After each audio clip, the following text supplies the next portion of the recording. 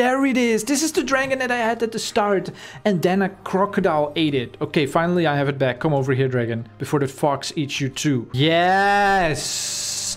I finally have my dragon back, you guys, which is called Hyperion, the grass dragon. All right, it's a grass dragon because it does this. Whoa, that's a big dragon over there. Dude, look at how big this dragon is. It's like gold or something. My dragon is a grass dragon. It can do leaf attack. Look.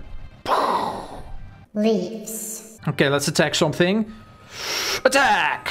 Did it work? No, no, no, no, no, no, no, no, no. Don't, don't kill my dragon. Yes? Yes! Okay, okay, got him.